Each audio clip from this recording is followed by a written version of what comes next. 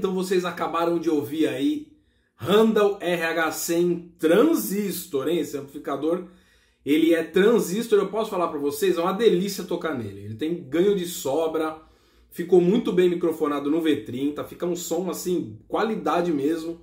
Para gravar não perde nada para um valvulado no meu gosto. Perde sim no volume geral, né? Na potência, porque os amplificadores transistor, apesar de ter nomenclatura de 100 watts, 200 watts, 300 watts, eles não chegam nem perto na potência de um 50, 100 watts valvulado, tá? O painel frontal dele é bem simples, com os controles de grave, médio, agudo. Botão de seleção de canal tem dois ganhos que você pode setar. Um ganho um pouco menos de distorção, outro um pouco mais. E o botão Contour, que vocês ouviram no áudio aí, que faz toda a diferença, tá? É, para tirar o meu som, eu deixei ele num ponto específico, depois eu mexi ele. Vocês ouviram que ficou bem enterradão, né? E aí vocês vão me perguntar, ah, Dani, por que, que você não tocou um Pantera, né? Não fez um som do Dimebag, não sei das quantas. Por causa do falante, galera. O falante que o Dimebag Darrell usava era o próprio falante da Randall. E aqui com o V30, eu não ia conseguir chegar nem perto disso, entendeu? O falante, nesse caso, é, cumpre um papel muito mais importante do que o cabeçote, tá? Então eu vou tentar ficar com esse RH100 aqui, conseguir um falante Randall Jaguar 75, que era semelhante ao que ele tinha nas caixas dele, tá? E aí eu tento chegar na timbragem, timbragem e faço outro vídeo para vocês, tá bom? A guitarra usada foi essa lindíssima Jim Root Fender USA com EMG 81 na ponte 60 no braço.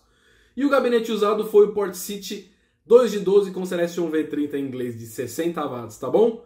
Galera, é isso. Se inscrevam aqui no canal, compartilhem esse vídeo com os amigos, deixem nos comentários o que vocês acharam desse timbre. Eu já vou falar para vocês que eu sempre gostei dos Randall da série RH, principalmente a série RH 150 barra 300 e a 100 barra 200. Eu adoro esses amplificadores, tá? Para mim não deve nada para um valvulado gravando.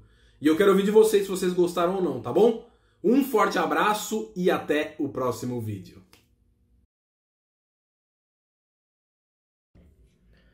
Galera, eu tô editando o vídeo aqui e eu acho que vocês não, perce... não perceberam o que aconteceu.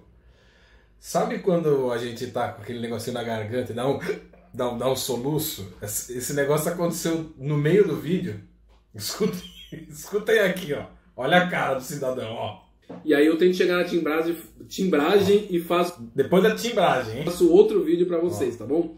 A guitarra usada foi essa lindíssima Jim Root Fender USA com EMG 81 na ponte 60 no braço. Opa, opa, EMG 81 na ponte 60 no braço.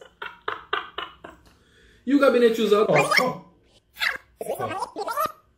Vamos ver, vamos ver. Com EMG 81 na ponte 60 no braço. 70 no e o braço. gabinete usado foi o Port City 2 de 12 com Celestion V30 em inglês de 60 watts, tá bom? Olha, os 60 watts, quase não. Será que eu editor? Inglês 60 watts, tá bom? Ficou muito engraçado. Meu, já que mostrar isso pra vocês, vai. V30 em inglês de 60 watts. Celestion V 2 de 12 com Celestion V30 em inglês de 60 watts, tá bom? 60 watts. Galera, é isso. Se inscrevam aqui no canal. Compartilhem esse vídeo com os amigos. Ai, cara.